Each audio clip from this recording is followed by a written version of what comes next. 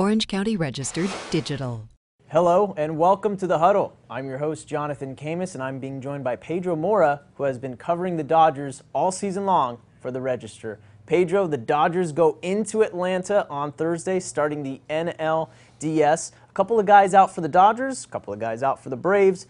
Who is going to be the unsung hero of this series? I think we got a couple outfield power threats that could end up making a difference with the variation of guys out for both the Dodgers and Braves. Of course, the Dodgers are going to be without Matt Kemp and potentially without Andre Ethier as well. In their place in center field, I think is going to be Skip Schumaker, but could also be a young guy named Scott Van Slyke, who, when he had his chances during the regular season, consistently came up big with home runs, hit a walk-off homer in, in late August, September.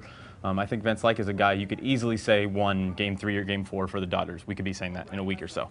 Um, for the Braves, I think Evan Gattis, who his nickname is the Oso Blanco, the White Bear, came it. out of nowhere this year to hit, I think, 21 home runs, is a terrible defensive outfielder, and that's probably why he's not going to start for many games. But as a pinch hitter, I think he's pretty much second to none. So those are two, I think, big time potential impact players for both the Braves and the Dodgers this, this series. And I think we could agree the Dodgers one, two, three, and their pitching rotation is probably the best in, in all of ma Major League Baseball right now. Definitely a lot better than the Braves, that's for sure. Yeah, and uh, okay, so with all that being said, Pedro, your prediction who wins and how many games?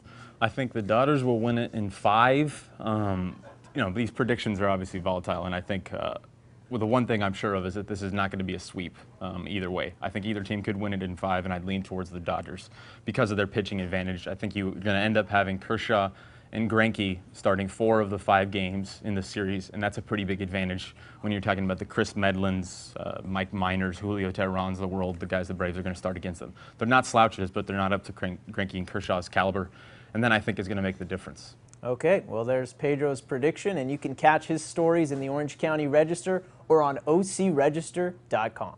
Orange County Register. We are here in the service of Orange County.